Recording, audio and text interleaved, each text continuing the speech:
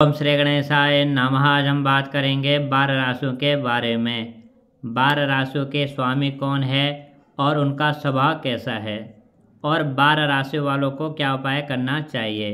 तो पूरी जानकारी प्राप्त करेंगे इस वीडियो से। जैसे कि आपकी मेष राशि है तो मेष राशि वालों को क्या उपाय करना चाहिए?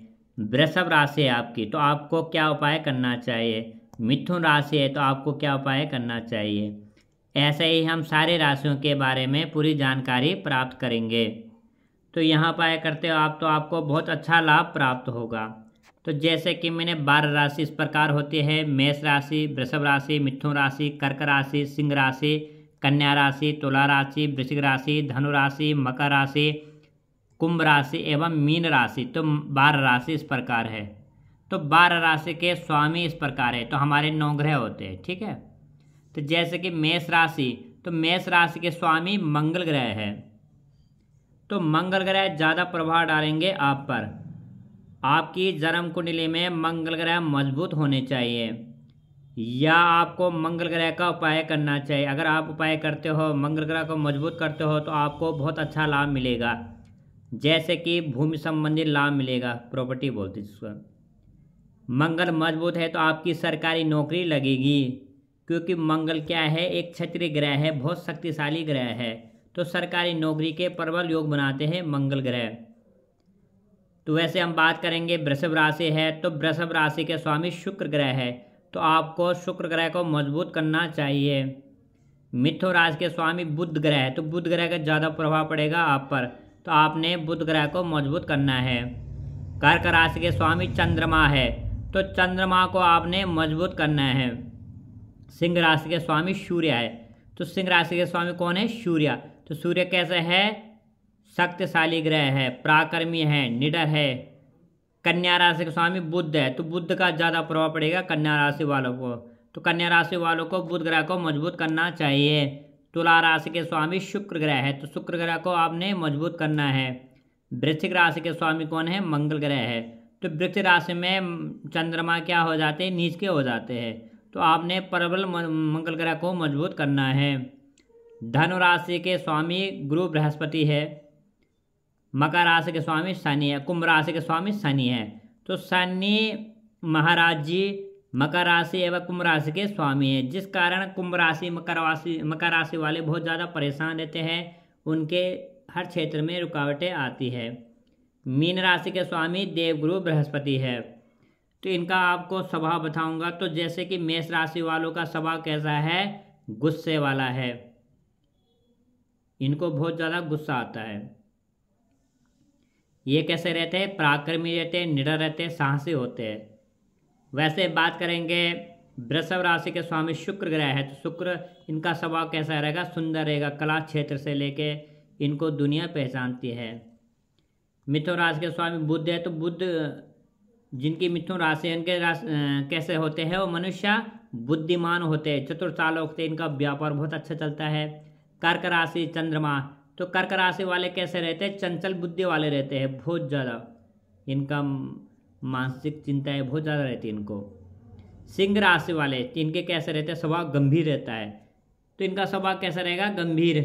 जैसे आप पहचानते हैं किसी को तो उनका स्वभाव मतलब बिल्कुल बात नहीं करेंगे, गंभीर जैसे रहेंगे।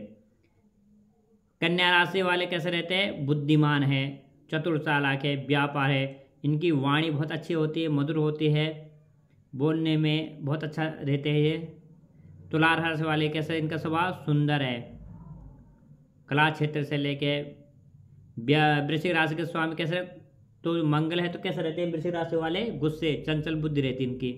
धनु राशि वाले कैसे रहते हैं? ज्ञानी, बुद्धिमान रहते हैं, ये हमेशा धर्म संबंधित ही बातें करते हैं। मकर राशि, कुंभ और कुंभ राशि वाले कैसे रहते हैं? चंचल गुस्से वाले रहते हैं। ये हमेशा परेशानी, कष्ट, रुकावट इस तरीके से बात करते रहते हैं। इनका स्वभाव कैसा रहेगा? गुस्से वाला। तो मीन राशि का स्वभाव कैसा है? ज्ञान, बुद्धिमान। तो ये हमेशा कैसे? पढ़ाई क्षेत्र से लेके, नौकरी क्षेत्र से लेके, धार्मिक संबंधित से लेके यही बात चलती रहती इनकी। तो इनके, जैसे मेष मेष राशि वालों के लिए उपाय क्या करना है? इन्होंने हनुमान जी की पूजा करनी है। वृषभ राशि वालों ने श्री नारायण जी की पूजा करनी है। जाप कर सकते हो। मिथुन राशि वाले कैसे? उन्होंने क्या करना पाया श्री गणेश जी की पूजा करनी है।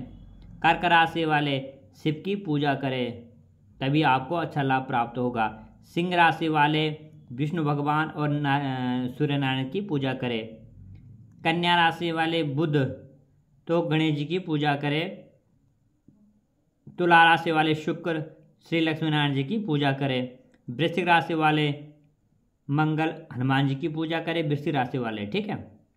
धनु तो यहाँ भगवान विष्णु एवं देवगुरु बृहस्पति की पूजा करें। मकर राशि वाले शिव एव शिव हो गए, यानी भगवान शिव हो गए, भैरव हो गए, और शनि महाराज जी की पूजा करें। कुंभ राशि वाले शिव, भैरव और शनि महाराज जी की पूजा करें। मीन राशि वाले विष्णु भगवान एवं देवगुरु बृहस्पति की पूजा करें।